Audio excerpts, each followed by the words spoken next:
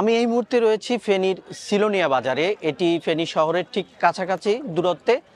তবে এই জায়গায় গত পাঁচ দিন ধরে, অর্থাৎ গত বুধবারের পর থেকে পানি পুরো এলাকায় একটু একটু করে বাড়তে শুরু করে এবং গত কয়েকদিনে এখানে বেশ কয়েক হাজার মানুষ পানিবন্দী হয়ে রয়েছে।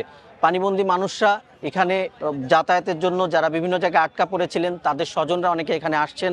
তাদের সাথে আমরা কথা বলেছি, তারা এখান থেকে কোনো ধরনের যাতায়াতের কোনো ধরনের ব্যবস্থা নেই। বিশেষ করে কিছু ত্রাণের জন্য কিছু ব্যক্তিগতভাবে উদ্যোগে কিংবা সরকারি উদ্যোগে কিছু উদ্যোগ নেওয়া হলেও ছোট ছোট করে ট্রলার সেখানে যাচ্ছে। স্বাভাবিকভাবে সেগুলো ট্রলারে অনেকে আমরা দেখেছি যাতায়াত এখান থেকে তার বাড়িতে যাওয়ার জন্য কিংবা অনেকে বাড়ির থেকে বহুদূর পথ হেঁটে এসে যাওয়ার জন্য চেষ্টা করছেন, কিন্তু তারা সেটি পারছেন না।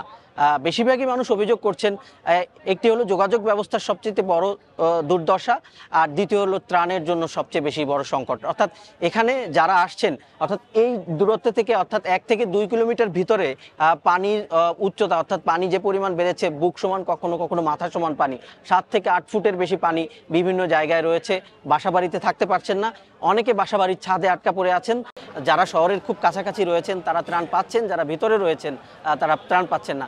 তবে বেশিরভাগের মানুষ অভিযোগ ভেতর থেকে অনেকে দীর্ঘ পথ পায়ে হেঁটে এখানে আসছেন ত্রাণের জন্য। কিন্তু একটি সংকট, সবচেয়ে অনেক মানুষ ত্রাণ নিয়ে আসছেন, এখানে ত্রাণ দিচ্ছেনও, কিন্তু তারা অনেকে ভিতরের জায়গাগুলোতে পৌঁছাতে পারছেন না।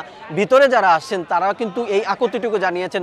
অনেক পথ পাড়ি দিয়ে এরকম চার থেকে পাঁচজন ব্যক্তি আমাদের কাছে এসে কথা বলেছেন, তারা অভিযোগ করেছেন, তারা ভিতরে তিন থেকে চার দিন কোনো রকম খাবার পাননি, কোনো ধরনের ত্রাণ কিংবা সহযোগিতা পাননি।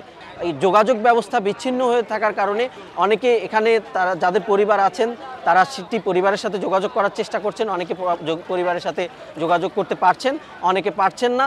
যারা পারছেন না, তারা এখান থেকে যাওয়ার চেষ্টা করছেন, কিন্তু সেটিও তারা ব্যর্থ হচ্ছেন।